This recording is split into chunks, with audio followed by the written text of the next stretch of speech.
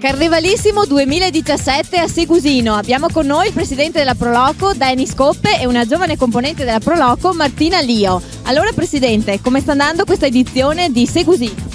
Ma eh, sta andando benissimo perché il sole ci ha, ci ha aiutato rispetto al brutto tempo di ieri. Abbiamo sette carri, tantissima gente, quindi sta andando veramente benissimo. Martina, raccontaci qualcosa di questo carnevale. Praticamente sono in gara sette carri e qui a Segusino si svolgerà la, la, prima premiazione e mentre a Quero più tardi, verso tardo pomeriggio, si effettuerà la premiazione finale. Abbiamo visto che c'è anche uno stand con il gruppo Alpini, come mai sono qui? Questa è la novità 2017, Abbiamo, stiamo organizzando insieme il carnevale e anche il ristoro per tutti i carri. Tutti i fondi raccolti oggi dalla, dallo stand qua saranno devoluti per, per, per i paesi terremotati al centro Italia. Un'ottima iniziativa. Per concludere vuoi dirci qualcosa Martina?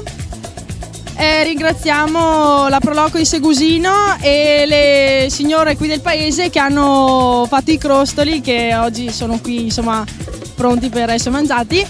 E e a tutti i volontari che hanno organizzato la manifestazione.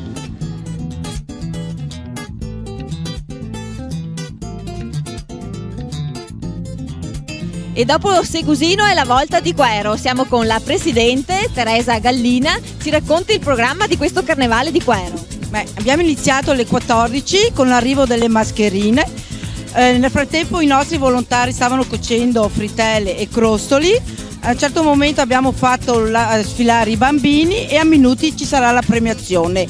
Verso le 16.30 arriveranno i carri da Segusino dove loro faranno almeno due o tre giri intorno al paese. Nel frattempo i nostri volontari hanno cambiato menù via le frittelle e crostoli con panini, pastine e patate fritte per tutti.